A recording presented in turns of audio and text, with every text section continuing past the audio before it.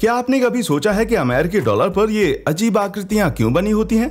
कमाल है ना कि दुनिया की सबसे मज़बूत करेंसी होने के बावजूद कम ही लोग इस पर ध्यान देते हैं। आज हम आपको इन आकृतियों के बारे में गहराई से बताएँगे।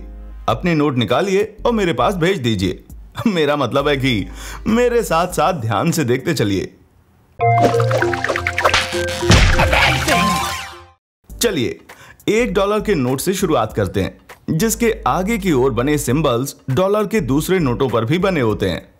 वैसे तो ये ज़ाहिर है, पर बता दें कि ये यूएस के ट्रेजरर का दस्तखत है और ये ट्रेजरी के सचिव या सेक्रेटरी का। ये निशान बताता है कि डॉलर का ये डिज़ाइन किस सन में बनाया गया था और उसके जस्ट ऊपर बनी ट्रेजरी विभाग की मुहर बताती है कि नोट असली है। गौर से देखने पर आपको न्याय की ओर इशारा करने वाला तराजू, भरोसे का प्रतीक एक चाबी और तेरह सितारों वाला एक उल्टा वी या शेवरॉन ये नंबर तेरह तो बार बार आएगा, जिसके बारे में आगे बात होगी। इस मुहर के जस्ट ऊपर राजधानी का नाम और उसके ऊपर नोट का अनोखा सीरियल नंबर है। ये नंबर नोट के पीछे भी होता है और इसके आगे एक अक्षर लिखा होता है। आप में से पैनी निगाह वालों ने नोटिस किया होगा कि ये अक्षर ऊपर वाली मुहर में भी होता है। असल में ये फेडरल रिज़र्व की मुहर है। जिससे आप ये पता लगा सकते हैं कि कौन से फेडरल रिज़र्व बैंक ने इस नोट को छापा है। मुहर के नीचे वाली लिखावट देखिए। बीच में लिखे अक्षर से पता लगाइए या नोट पर बिखरे हुए नंबर से, जैसा कि यहाँ दिखाया गया है। ये अक्षर और नंबर अलग अलग लोकेशंस बताते हैं। पॉज करके याद कर लीजिए, क्या पता कल को कोई पूछ ले?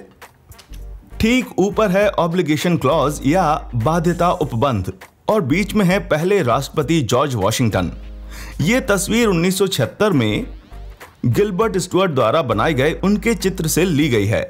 प्राचीन यूनान के तर्ज पर वे वॉशिंगटन के इर्द गिर्द भी लॉरेल की पत्तियाँ हैं, जिनमें कलियाँ लगी हुई हैं। यानी अमेरिका का अभी पूरी तरह से फलना फूलना बाकी है। अंत में आते हैं ये नंबर्स और लेटर्स बाएँ वाले को नोट पोजीशन आइडेंटिफायर कहते हैं, जो बताता है कि नोट को प्लेट पर किस तरह प्रिंट किया गया था। दाई ओर है फेस प्लेट नंबर, जो नोट छापने वाली प्लेट का नंबर बताता है। ये थी कुछ स्टैंडर्ड मार्किंग्स जो दूसरी नोटों पर भी होती हैं। पर बीच में दूसरा चित्र होता है, जैसे पाँच की नोट पर लिंकन या सौ की नोट पे फ्रैंकलिन। इनकी पोजीशन भी थोड़ी थोड़ी अलग होती है, पर मोटे तौर पर डॉलर का सामने वाला हिस्सा इन्हीं चिन्हों पर आधारित होता है। नोट का पिछला हिस्सा इस नए राष्ट्र की विचारधारा बताता है। जिसे राष्ट्र निर्माताओं ने आज़ादी के बाद अपनाया था। बीच में है 1956 में अपनाया गया यूएस का आदर्श वाक्य। इन गॉड वी ट्रस्ट या हमें परमेश्वर पर भरोसा है।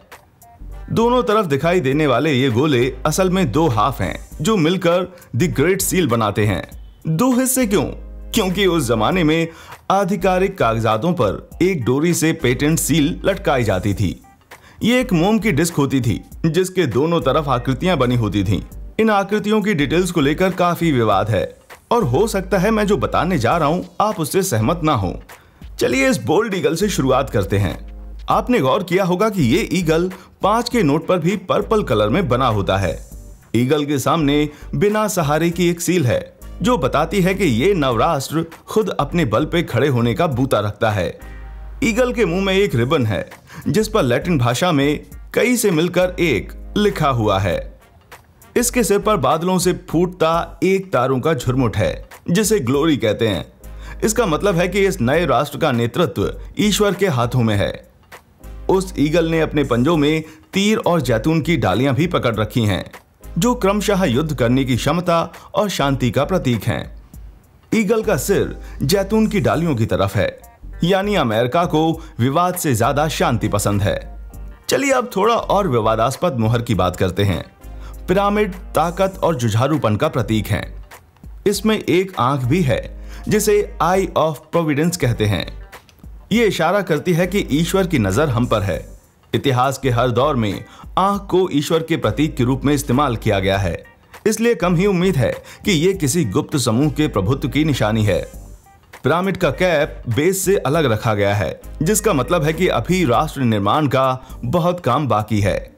इसके पीछे एक उगता हुआ सूरज जो नए राष्ट्र की शुरुआत की तरफ़ इशारा करता है। सूरज की किरणों की परछाई पश्चिम की ओर है, क्योंकि उस समय उस दिशा में बहुत सारी अनछुई भूमि थी।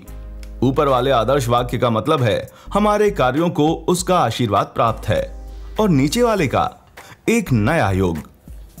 जो अमेरिका की स्वतंत्रता के साथ शुरू हुआ। 1976 की वो तारीख पिरामिड की नीचे वाली सीढ़ी पर रोमन संख्याओं में लिखी हुई है। आप सोच रहे होंगे कि इन आदर्श वाक्यों को आखिर क्यों अपनाया गया? और हमने कुछ चीज़ें छोड़ क्यों दी? बताते हैं।